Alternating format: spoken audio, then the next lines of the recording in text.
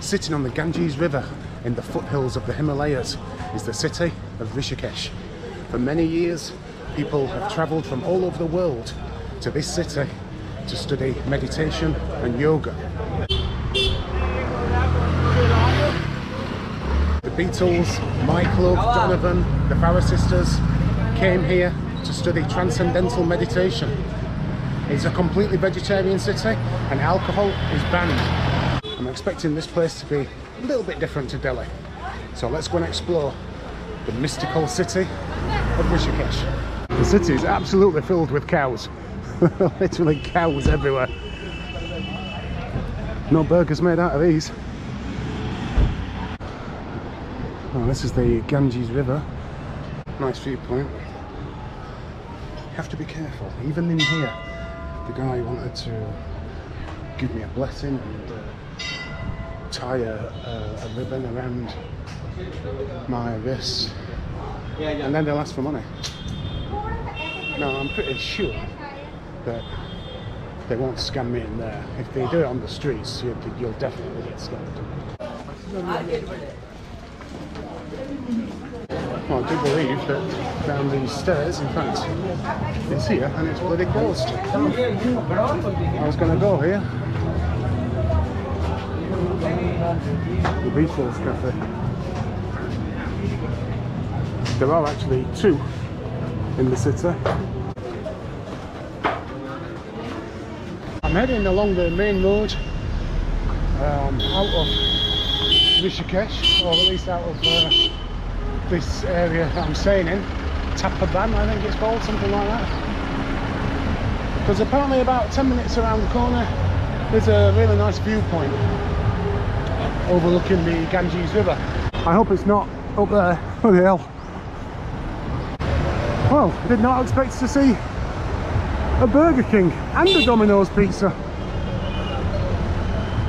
Get bloody everywhere, don't they? And there we have it the viewpoint over Rishikesh.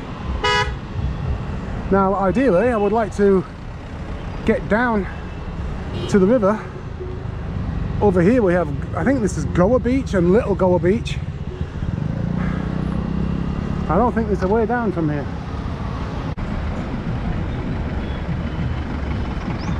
Right, I've spent some time chilling out in the hostel because it was just unbearably hot so um, now I'm gonna head back down to the Beatles Cafe, which will hopefully be open now. And I'm gonna go and get myself a vegetable curry overlooking the Ganges River, hopefully.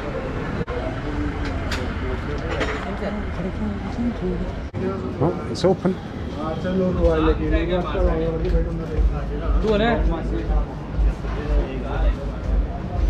Hello.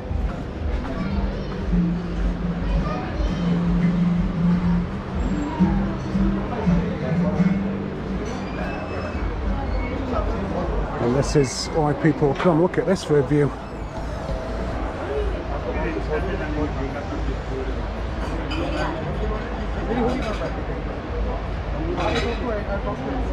well, I'm skipping it because believe it or not there's no Indian food well just next to the Beatles cafe a few metres down is the Om Shanti Cafe and that again on the outside says Italian and Chinese. I don't bloody Italian and Chinese. I bloody Indian. Oh, this looks nice.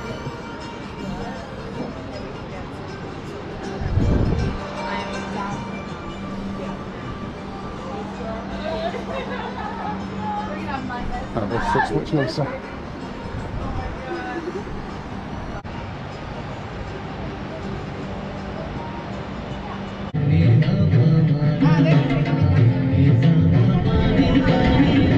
This is what you call the Indian experience. Mixed veg curry, butter, naan, back down to two quid. We've got some live Indian music as well. I've even got the spot on my head. Absolutely delicious.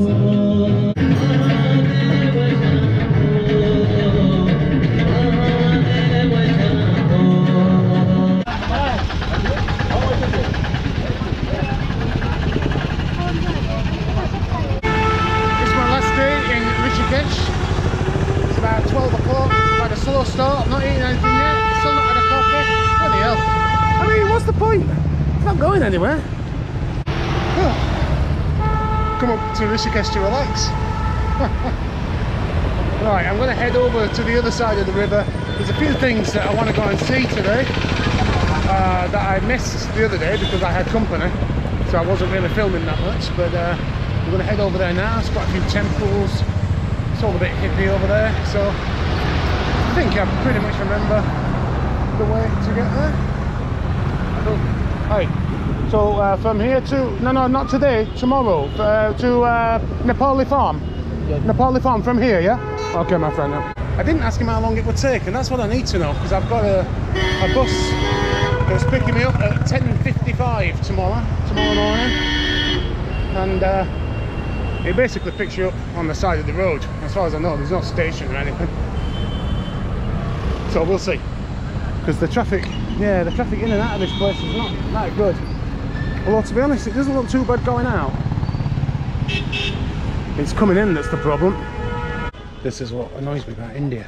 We're in Rishikesh, which is a holy city, where people don't drink alcohol and people don't eat meat. But they're perfectly happy to just throw litter everywhere. Well, there's the bridge that I'm about to take over the Ganges. Nice view from here. I once did take this bridge before, 10 years ago, and we got stuck. We got about a third of the way and then everyone just seemed to stand still and we couldn't work out why. And uh, it turned out that there was a cow crossing the bridge and halfway across the bridge the cow decided he was just going to lay down and so no one could pass him and no one could move him on because it was a cow.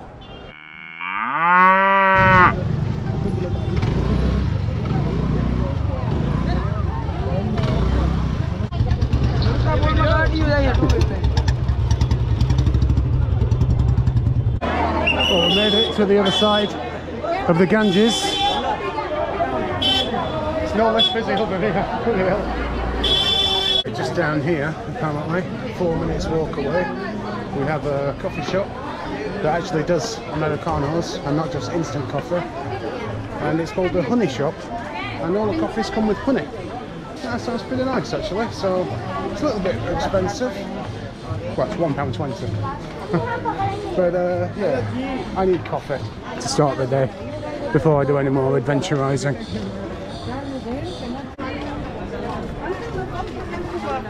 It's a nice shop this. On the walls it has information about bees. So here's a random bee fact here. An average worker bee makes only about half a teaspoon of honey in its lifetime. Amazing. Well, the coffee's arrived. I was expecting it to come with the honey over the end, but actually bring a ton of honey. Let me have a taste of this.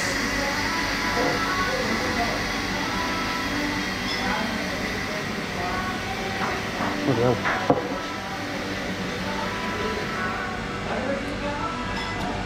Okay, that is really, really nice. I've already put some in my coffee. Well, oh, let's give this a go.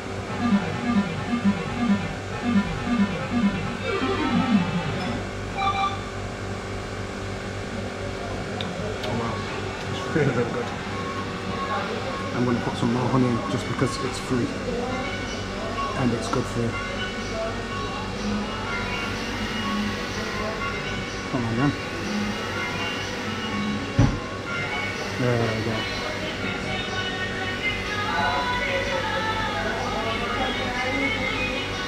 Making the most of this.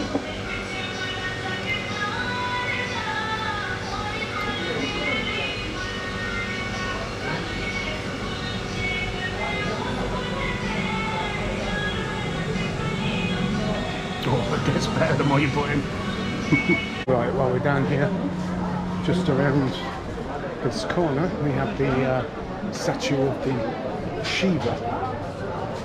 So while we're here, we might as well go and take a look. Well, we can't take a look.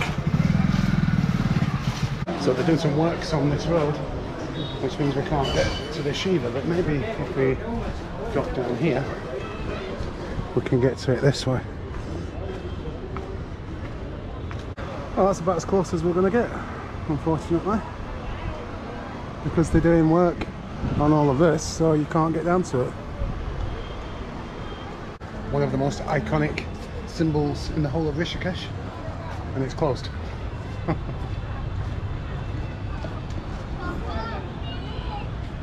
well, I thought I might take advantage of being on the Ganges River by at least dipping my feet in. It's really, really nice and cool. oh, it feels so good.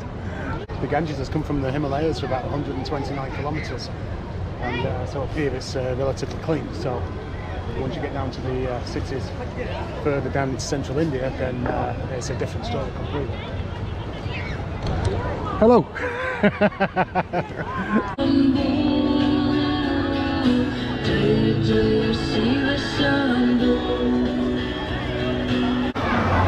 well, I'm not exactly sure what this place is, but there's uh, some interesting things outside.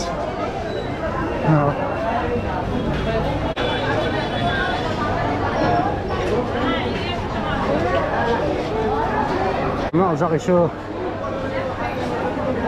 what they are or what they're doing. He just keeps ringing the bell randomly.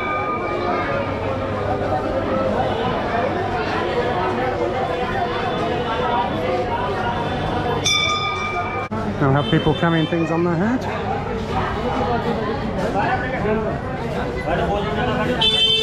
What a place this is! what the hell?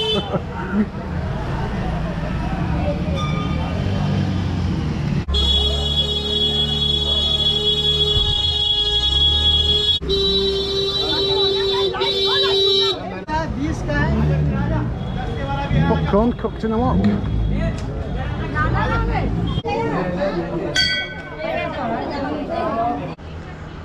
Well, this is on my Google Maps as Temple Gate, Bhutnath Temple.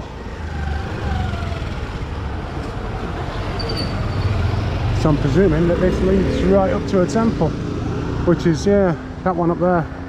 According to Google Maps, you can go up to the temple and uh, climb to the top and it offers views all over the entire city so that's what I'm going to try and do I've got a feeling I'm going to get up here and uh, somebody's going to just latch onto me and want some money. But I can't come all this way and not go and see it. I've reached it to the temple. Apparently it's 13 floors high. Don't like the sound of that much. But well, here are the stairs that take you about halfway up. I've made it 13 floors. And yeah, not bad views over Rishikesh.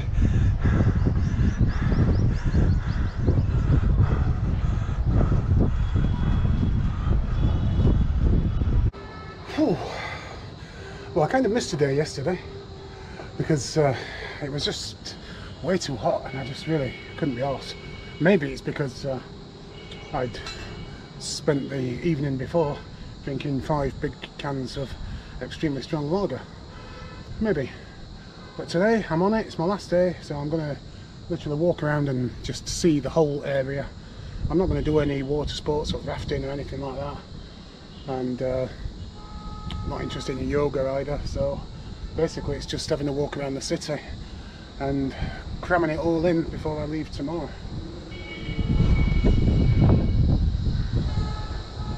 This is Tapovan over here, this is where I'm staying. It's quite lively over there. The last time I was here I stayed down here. But it's quite lively over here as well. over here is like the main part I guess of the city. I've not really explored any of that. I'm not even sure that that is Rishikesh, maybe that's Haridwar, I'm not sure. Ah, over here.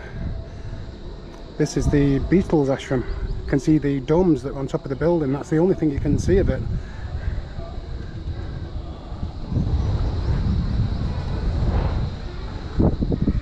Well, I suppose I better ring it just to show that I've been here. I wasn't the only person who was uh, making my way up to the top. There was one old woman. 13 floors she climbed to get to the top just so she could ring the bell. On Google Maps, this is called the Panting Wall. I'm presuming it means the painting wall.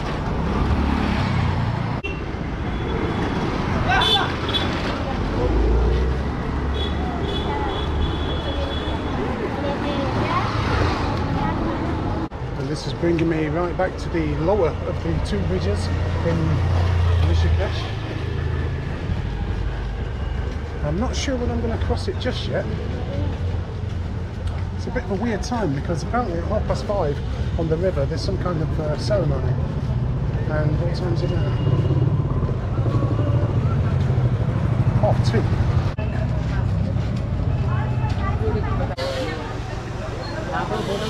So that alcohol is banned in Rishikesh. That's some bloody effort. Alcoholics Anonymous Rishikesh. How do you get addicted to something that's not available? Well, this is the centre of the ashram, which all looks very nice. Not too keen on the toilet facilities though.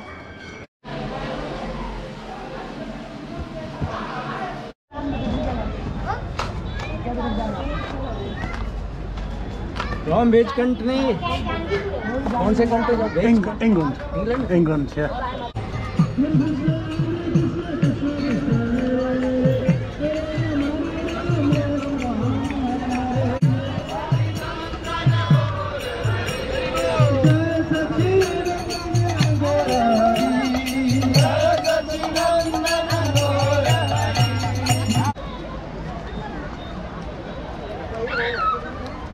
down to the uh, Ganges River because apparently tonight, well, every night in fact, there's something called the Ganga Aarti in the evening. Now, I had read that it was at five o'clock. I think it's going to be later than that because I think it's when the sun goes down. And uh, yeah, I'm not exactly sure what happens, but they're cleaning up. I've just been moved from there. They're cleaning up all this space, and the Hare Krishnas have turned up and taken a soak in the Ganges. So something's going to happen. I just don't know what.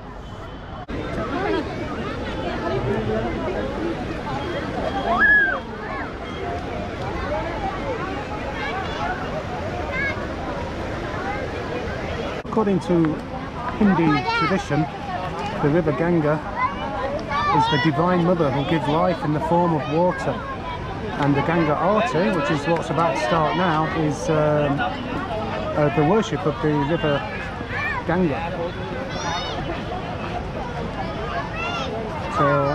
any minute now, we should start hearing some bells and people are going to float diyas on the river to show their respect. And this happens every single night. I'm hoping to get on with it. I want a pizza.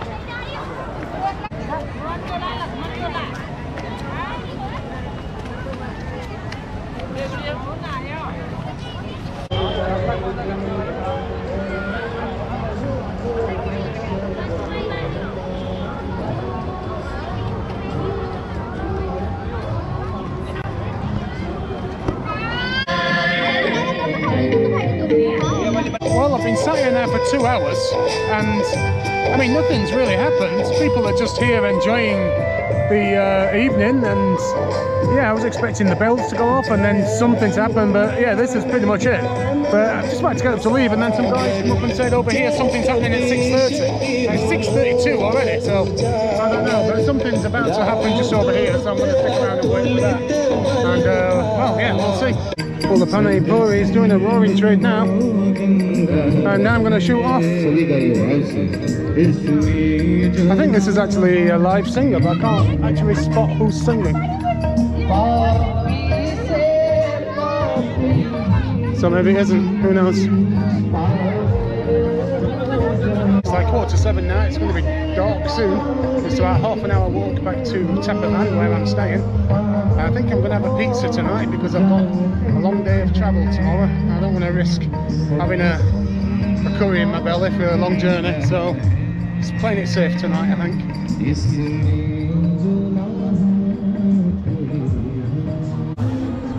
Well, it sounds like there's something going on at the other side as well. You watch, I'll leave and it'll all bloody start. I've been here two and a half hours. I'm getting hungry now.